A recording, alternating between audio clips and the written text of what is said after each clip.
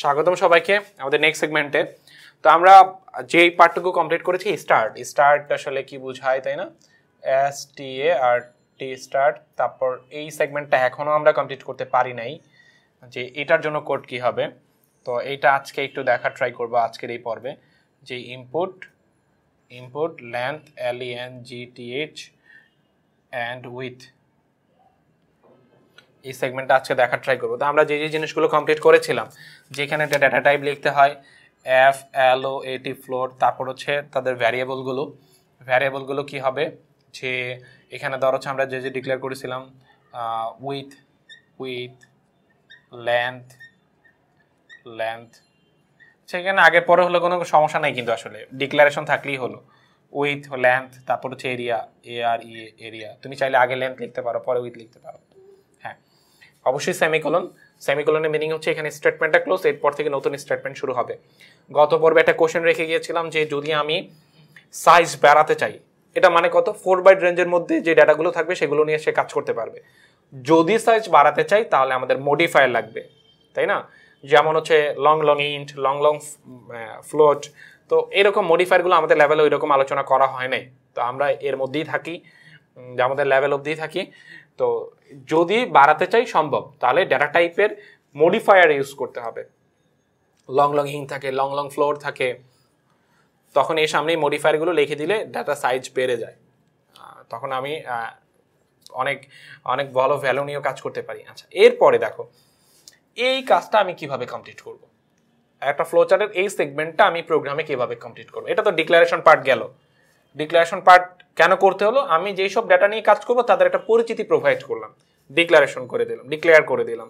Declaration করতে হয় দুইভাবে মানে প্রথমত লিখতে হয় যে ডাটা টাইপ তারপর লিখতে হয় কি? ভ্যারিয়েবল নেম যে কি কি ভ্যারিয়েবল তোমার এই প্রোগ্রামে লাগবে। আচ্ছা তারপরে তুমি কি করবা?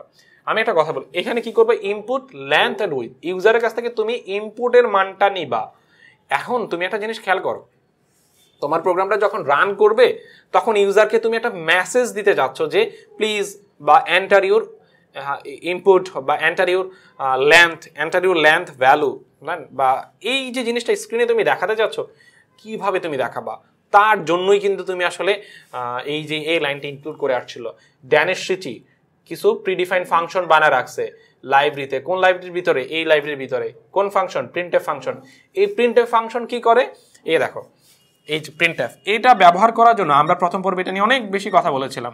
প্রিন্টএফ এটা একটা আউটপুট ফাংশন এই আউটপুট ফাংশনটা কোন হেডার ফাইলের ভিতরে থাকে? এই হেডার ফাইলের ভিতরে। এটা তো খেলোয়াড়ের সাথে তুলনা করেছিলাম আমরা প্রথম পর্বে।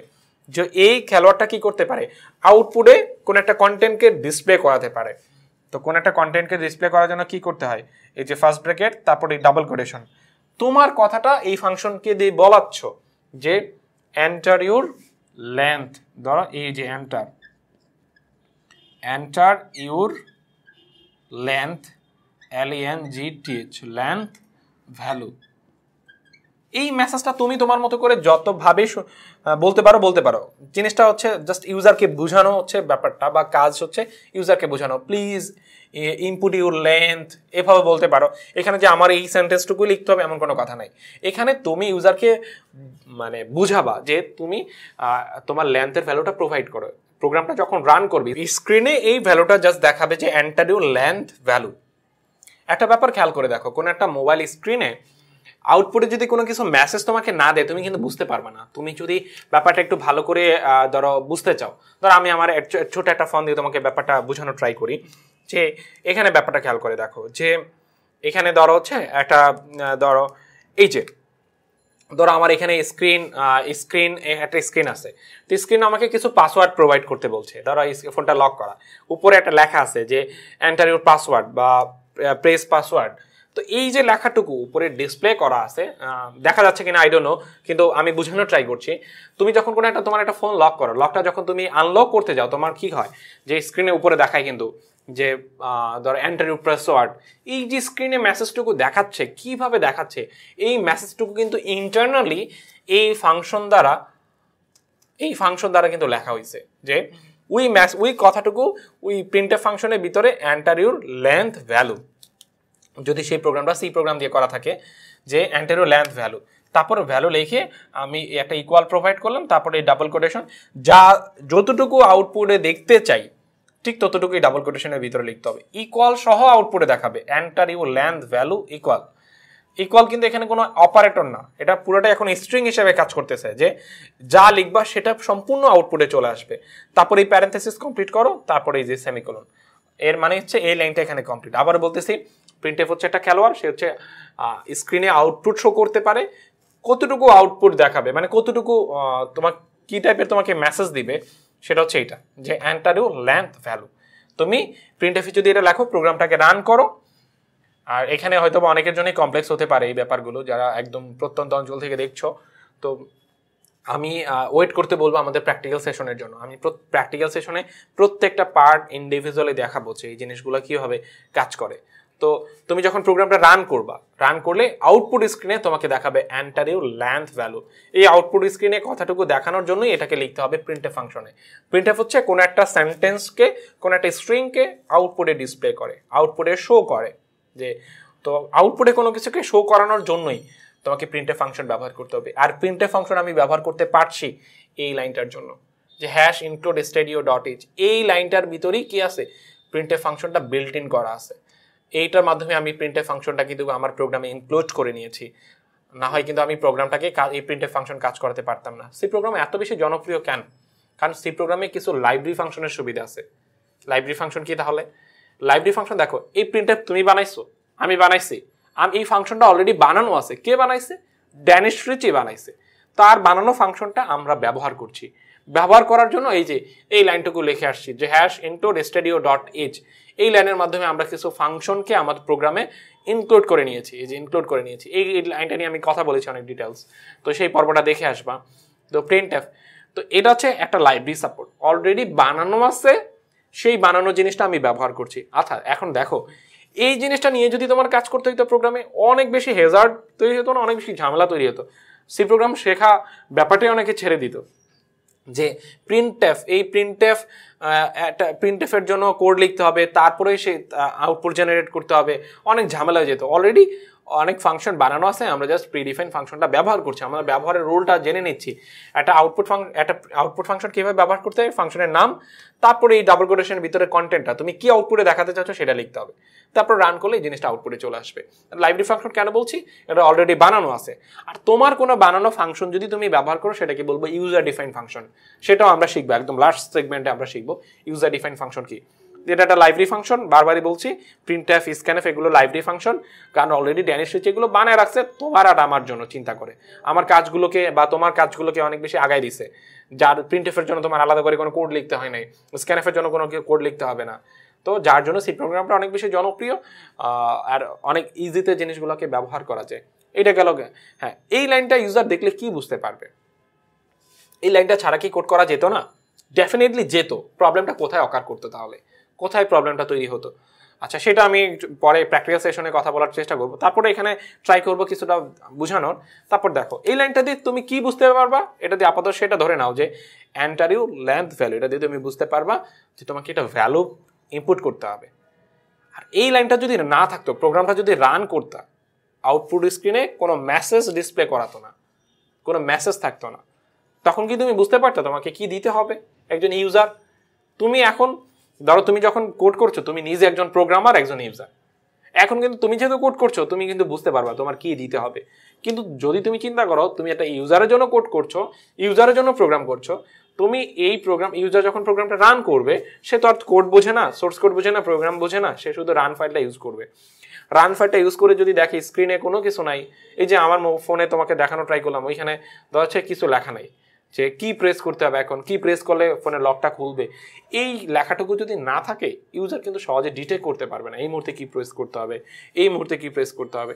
তো সেটা ইউজার ফ্রেন্ডলি হবে না, তাই না? হয়তো ওই ফোনটা সেই ব্যবহার করতে পারবে, যে ওই কোডটা করেছে, কোন মুহূর্তে সে কি সেট করে রাখছে সে জানে। কিন্তু মেসেজ দিলে কি সুবিধা? যে কেউ ফোনটা ব্যবহার করতে পারবে। লেখাটা পড়ে বুঝতে পারবে যে এই মুহূর্তে কি প্রেস করতে হবে, এই মুহূর্তে কি প্রেস করতে হবে। তার মানে প্রিন্ট কোনো লেখা আমরা লিখি ইউজার ডিফাইন মানে ইউজার প্রোগ্রাম করার জন্য ইউজার ফ্রেন্ডলি প্রোগ্রাম করার জন্য ইউজার যাতে সহজে বুঝতে পারে, প্রত্যেকটা স্টেটমেন্ট সে পড়ে পড়ে যাতে কাজ করতে পারে। এটা না থাকলেও একটা ফোন ওয়ার্ক করবে, একটা ফোন কাজ করবে, কিন্তু সেটা ইউজার ফ্রেন্ডলি হবে না মার্কেটে সেটা তুমি বিক্রিও করতে পারবে না, সেটা জনপ্রিয়তা হারায় যাবে। তো তুমি আজ ভালো প্রোগ্রামার জন্য তোমাকে অবশ্যই ইউজারের মাথা ইউজারের কথা মাথা চিন্তা করতে হবে, যত ইউজার ফ্রেন্ডলি করা যায়, যত ইজি করা যায় ইউজার একদম বোকা চিন্তা করতে হবে, তাকে প্রত্যেকটা সেগমেন্ট কত ভালো বোঝানো যায়, সেটা তোমার ট্রাই করতে হবে। তো আমি এই মেসেজটা দিয়েছি এন্টার ইউর লেন্থ ভ্যালু যাতে ইউজার পরে বুঝতে পারে, তাকে এখন লেন্থটাকে ইনপুট করতে হবে। তো এই যে ইনপুট করতে হবে ইনপুটের ভ্যালুটা তার কাছ থেকে আমি নিব কীভাবে? ইনপুটটা নিব কীভাবে? তার জন্য সি প্রোগ্রামে ফাংশন অলরেডি তৈরি করে রাখছে।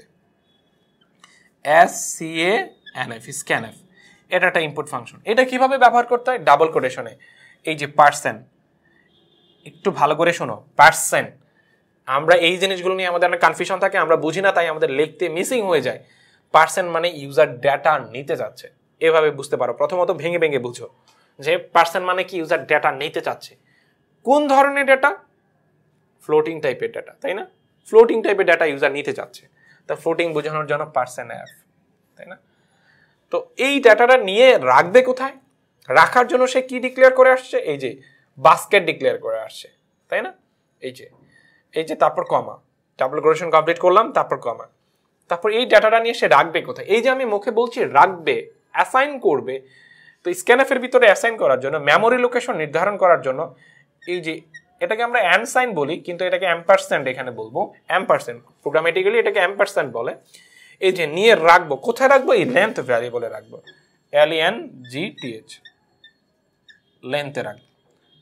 তো এই ভ্যালুটা ধরো আবার বলছি স্ক্যান ফাংশনটা কীভাবে ব্যবহার করতে পার্সেন্ট পার্সেন্ট মানে ইউজার ডাটা নিতে যাচ্ছে। কোন ধরনের ডাটা ফ্লোটিং টাইপের ডাটা সেই ডাটাটা সে নিয়ে রাখবে। এই যে আমি মুখে বলছি, রাখবে। রাখার জন্য অ্যানসাইন কোথায় রাখবে? লেন্থে রাখবে। লেন্থ কি ছিল? একটা ভ্যারিয়েবল ছিল। তো আমি যে ডাটাটা দিব, আমি যে ভ্যালুটা এই কম্পিউটার থেকে দিব two or three or three point five or six point seven যাই দেই না কেন, সেই ডাটাটা নিয়ে সে লেন্থ ভ্যারিয়েবলে মেমোরি সেলে সে রাখবে। সেই মেমোরি সেলটা আমরা আলাদা করেছিলাম কোন নাম দিয়ে? লেন্থ নাম দিয়ে। একটা মেমোরি সেল তৈরি করেছিলাম। সেই আমি যে এখন যে ভ্যালুটা দিব, সেই ভ্যালুটা নিয়ে রাখব কোথায়? লেন্থ ভ্যারিয়েবল তারপর হচ্ছে এগেন প্রিন্ট এফ আমি আরেকটা প্রিন্ট এফ ম্যাস লিখছি। প্রিন্ট এফ তো অ্যান্টারিউর আবারও বলতেছি এটা নেওয়ার পরে অ্যান্টারিউর অ্যান্টারিউর উইথ ভ্যালু তারপর অবশ্যই এটা কমপ্লিট করব। অবশ্যই লেখার পরে কিন্তু সেমিকোলন দিতে হবে। কেন হয় কম্পাইলার তোমাকে এরর দিবে। এই এররগুলো আমি ইচ্ছা করে করে তৈরি করে দেখাবো যখন প্র্যাকটিক্যাল সেশনটা আমাদের আসবে। যে না দিলে কি হয়? কম্পাইলার কি ধরনের এরর দেয়? তাই না? তো আমাদের থিওরি সেশনটা কমপ্লিট হলে আমরা পরে প্র্যাকটিক্যাল সেশনে চলে যাব। আমি বলব কষ্ট করে এই জিনিসগুলো খাতায় লিখে এখন প্র্যাকটিস করার জন্য আর ওয়েট করার জন্য আমাদের প্র্যাকটিক্যাল সেশনের জন্য। কারণ ওইখানে আরও বেশি জিনিসগুলোর ফিল জেনারেট করা সম্ভব হবে। এক্স্যাক্টলি যখন লাইভ কোড করব, জিনিসটা আশা করি যে তোমাদের অনেক বেশি ভালো লাগবে তখন। তো যদিও এখন একটু হার্ড মনে হয়, আমি আশা করি যে হার্ড মনে হওয়ার কথা না, প্রত্যেকটা সেগমেন্ট আমি তুলে ধরার ট্রাই করছি যে এই জিনিসগুলো কি বোঝায়। তো কষ্ট করে লেগে থাকো, আশা করি উপকৃত হবা। তো দেখো আবার প্রিন্ট অ্যাপ অ্যান্টারিউ উইথ ভ্যালু যে তুমি এটা দিয়ে কি করছ? যে অ্যান্টারিউর উইথ ভ্যালু মানে হচ্ছে তুমি আবারও ইউজারকে মেসেজ দিচ্ছ। এই মুহূর্তে তোমার লেন্থের মানটা নেওয়া কমপ্লিট তারপর তুমি ইউজারকে আবার মেসেজ দিচ্ছ। এখন তুমি উইথের মানটা দাও। মানে প্রস্থের মানটা দাও। প্রস্থের মানটা, কারণ তুমি একটা ভ্যালু দিয়ে কি কখনো এরিয়া বের করে দিতে পারবা? এই আয়তক্ষেত্রের ক্ষেত্রফলের এরিয়া কি তুমি একটা মান দিয়ে বের করে দিতে পারবা? না। ক্ষেত্রফলটা বের করার জন্য তোমার কয়টা মান দরকার? দুইটা মান দরকার। একটা লেন্থের মান, একটা উইথের মান। উইথের মানটা ইউজার এখন ইউজার কাছ থেকে নাও। যে তোমার সফটওয়্যারটা ব্যবহার করছে, তার কাছ থেকে নিচ্ছ তুমি। যে স্ক্যানএফ মানটা নেওয়ার জন্য কোন function scanf S E N F scanf আবার double quotation percent F percent মানে কি? ইউজার ডাটা নিতে চাচ্ছে। কোন ধরনের ডেটা ফ্লোটিং টাইপের ডেটা সেই ডাটাটা সে নিয়ে রাখবে কোথায়? এই যে রাখবে, কোথায় রাখবে? উইথে রাখবে। And sign with W I D T H উইথে রাখবে। তারপর এই কমপ্লিট সেমিকোলন দিয়ে কমপ্লিট করলাম। আমার লেন্থের মানও নেওয়া কমপ্লিট হলো উইথের মানও নেওয়া কমপ্লিট হলো। তারপর কি করব? যে এই যে জিনিসটা, আমি এখন তার রেজাল্টটা দেখাবো। আমার কিন্তু শেষ, তার শেষ। এখন আমি তাকে রেজাল্টটা দেখাতে হবে। এখন আমি তাকে কীভাবে রেজাল্টটা দেখাবো? দেখো, আমি কিন্তু এই লাইনের কাজটা কমপ্লিট করলাম। এই যে ফ্লো চার্টের এই পার্টটা কমপ্লিট করলাম। ইনপুট লেন্থ অ্যান্ড উইথ তো আমরা একটা ফ্লো চার্টের সুডো কোডের মাধ্যমে কিছু ওয়ার্ডের মাধ্যমে জিনিসটাকে বুঝাই দিলাম। এখানে এসে আমাকে লেন্থ অ্যান্ড উইথ নিতে হবে। কিন্তু প্রোগ্রামে কি এভাবে করলে হবে? না প্রোগ্রামে একটা সিস্টেম রুল আছে, একটা নিয়ম আছে রুলস অ্যান্ড রেগুলেশন তো প্রোগ্রামে ইনপুট নেওয়ার জন্য দেখো আমরা চারটা কমান্ড ব্যবহার এই এই চারটা লাইনকে দুইটা লাইনে কনভার্ট করা যায়। আমি সেটা দেখাবো কোনো একটা পর্বে, যে এই দুইটা লাইন কীভাবে করা যায়। তো দেখো প্রোগ্রামে ইনপুট নেওয়ার জন্য এই যে স্ক্যান অ্যাপ এই যে স্ক্যান অ্যাপ আমরা ব্যবহার করেছি। তো এখানে কিন্তু দেখো আমরা সুডো কোড ব্যবহার করছি। ইনপুট দিয়ে আমরা বুঝেছি যে আমরা এখানে কি করব। আমরা রিয়েল ইমপ্লিমেন্টে কি করব এটা জাস্ট এখানে রিপ্রেজেন্ট করা হয়েছে। কিন্তু রিয়েল ইমপ্লিমেন্টে এসে দেখো, যেটার জন্য যে কোড লেখা লাগে সেটাই কিন্তু লিখতে হবে। ইনপুট তাই না? এখানে যদি বাংলায় লেখো সমস্যা নেই। কিন্তু এখানে বাংলায় লিখলে কিন্তু প্রবলেম হবে। কারণ আমাদের কম্পাইলারটা বাংলা বুঝতে পারে না। তো এখানে দেখো স্ক্যান এফ স্ক্যান এফ ব্যবহার করছি। তারপর হচ্ছে আবার প্রিন্ট এফ স্ক্যান এফ আমি আশা করি জিনিসগুলো ডিটেলস বলেছি, সমস্যা হবে না। তো এখন মান নেওয়ার পরে আমাকে কি করতে হবে? ক্ষেত্রফলটা জেনারেট করতে হবে। তো ক্ষেত্রফলটা কীভাবে তুমি জেনারেট করবা? দেখো, এই যে len L N G T H length into তারপর কি? উইথ এই যে উইথ ইনটু বোঝানোর জন্য কিন্তু স্টার ব্যাপারটা আমি আগেও বলেছিলাম যে প্রোগ্রামিংয়ে কিন্তু ক্রস চিহ্ন নাই, তাই না? এরকম কোনো চিহ্ন নাই। উইথ হ্যাঁ। নেওয়ার পরে এই জিনিসটাকে কোথায় রাখবা? রাখার জন্য কিন্তু একটা ভ্যারিয়েবল ডিক্লেয়ার করে আসছো এরিয়া আচ্ছা এখন অনেকের একটা কনফিউশন ভাই, আপনি তো কিছুক্ষণ আগে বলছেন রাখার জন্য এম পার্সেন্ট কোনো ফাংশন ইউজ করে রাখার নিয়ম হচ্ছে এম পার্সেন্ট যে আমি কোনো একটা ফাংশন ব্যবহার করছি। উইদাউট ফাংশনে তুমি কীভাবে রাখবা? কোনো ফাংশন ছাড়া। যে তোমার কাছে এখন কোনো ফাংশন নাই লেন্থ অ্যান্ড উইথকে গুণ করছে, এই গুণফলটাকে একটা জায়গায় রাখতে হবে। রাখার জন্য ইকুয়াল চিহ্ন। কোথায় রাখবা? এরিয়াতে রাখবা। এরিয়াতে প্রোগ্রামিংয়ে এটাকে ইকুয়াল বলে না, এটাকে বলে অ্যাসাইনমেন্ট অপারেটর এটা কিন্তু প্রোগ্রামিং অনেক বেশি এমসিকিউতে আসে, যে এটাকে কি বলে? অ্যাসাইনমেন্ট এই অ্যাসাইনমেন্ট অপারেটর কি করে? এদেরকে গুণ করবে। গুণ করে এই গুণফলটা অ্যাসাইন করবে, এই যে এখানে অ্যাসাইন করবে, কোথায়? এরিয়াতে অ্যাসাইন করবে স্টোর করবে। তো রাখার জন্য উইদাউট ফাংশনে রাখার জন্য আমরা ইকুয়াল চিহ্নটা ব্যবহার করব। মানে গুণফলটাকে এরিয়ার মধ্যে স্টোর করো, তারপর অবশ্যই সেমিকোলন তো এটা ছিল, দেখো, এই যে লাইনটা কাজ করলাম, এই যে লাইনটা নিয়ে যে কাজ করলাম, এটা একটা প্রক্রিয়াকরণ না, যেটা আমরা ফ্লোচারে করেছিলাম এইভাবে। যে ফ্লোচারে কিন্তু আমরা রিপ্রেজেন্ট করেছিলাম, এই যে ফ্লোচার এই এই পার্টটা কিন্তু এখন কমপ্লিট করলাম, এই যে প্রোগ্রামে প্রোগ্রামিংয়ে যে এই ইনপুট নেওয়ার কাজ শেষ, তারপর আমাদের প্রক্রিয়াকরণ, এই যে প্রোগ্রামিং এসে প্রক্রিয়াকরণ করলাম। প্রক্রিয়াকরণে আমরা কীভাবে লিখেছিলাম? Area area equal length L N G T H length and with length and with এই যে জাস্ট কাজটা কমপ্লিট করলাম। ভ্যালু নেওয়ার পরে প্রোগ্রাম কি করবে? তাদেরকে গুণ করে গুণফলটা কোথায় রাখবে? এরিয়ার মধ্যে রাখবে। তারপর রাখার পরে কি ছিল? আমাদের কথা কি ছিল? এই রেজাল্টটাকে ডিসপ্লে করাতে হবে। ফলাফলটা দেখাতে হবে। যতক্ষণ অবধি তুমি দেখাবা না, ততক্ষণ অবধি কিন্তু আউটপুটে আসবে না। এই অবস্থায় রেখে প্রোগ্রাম রান করবে। সমস্যা নাই। প্রোগ্রামে কোনো ভ্যালু দেখাবে না। তুমি ভ্যালু দিচ্ছ। ধরো যে কোনো ভ্যালু ইনসার্ট করছ। থ্রি আর ফাইভ সিক্স দিচ্ছ। কিন্তু আউটপুট স্ক্রিনে কিছু দেখাবে না। এখন তোমার কোয়েশ্চেন থাকতে পারে, আমি তো গুণ করেছি।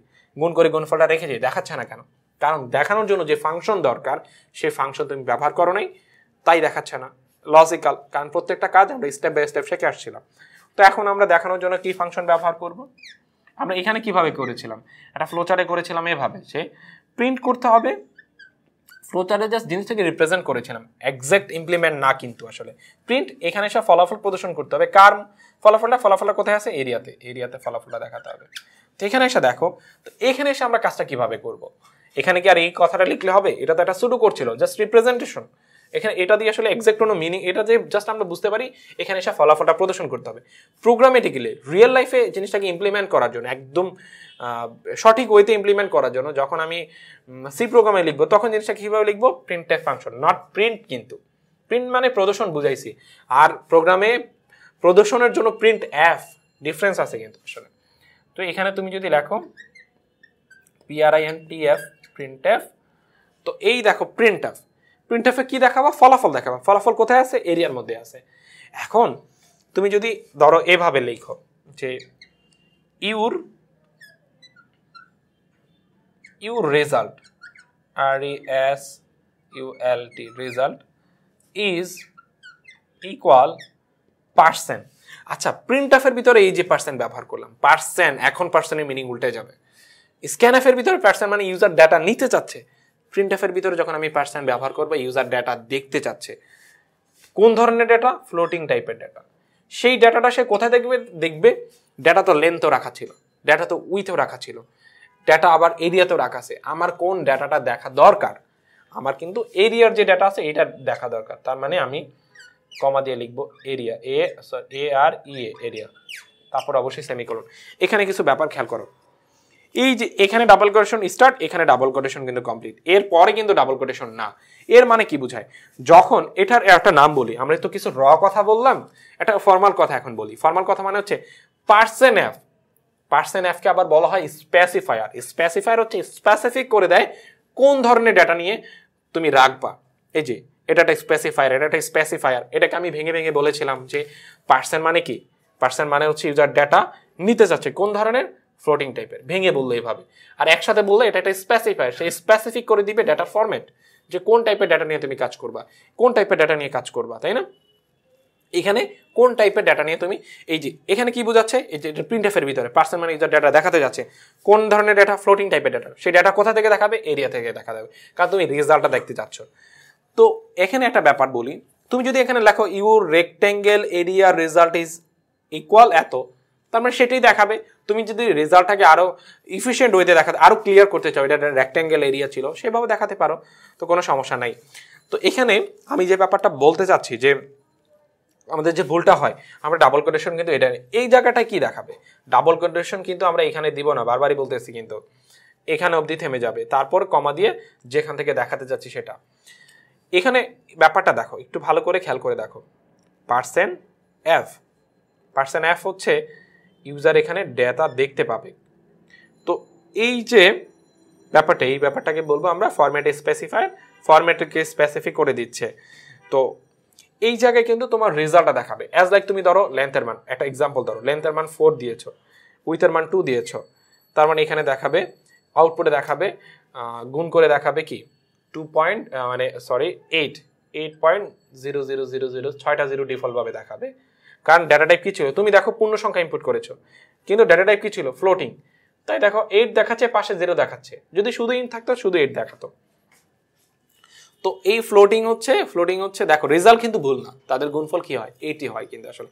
তুমি যদি এখানে সিক্স প্রেস করো, এখানে সেভেন প্রেস করো, তাহলে দেখাবে তাদের গুণ করলে যে রেজাল্ট হয়।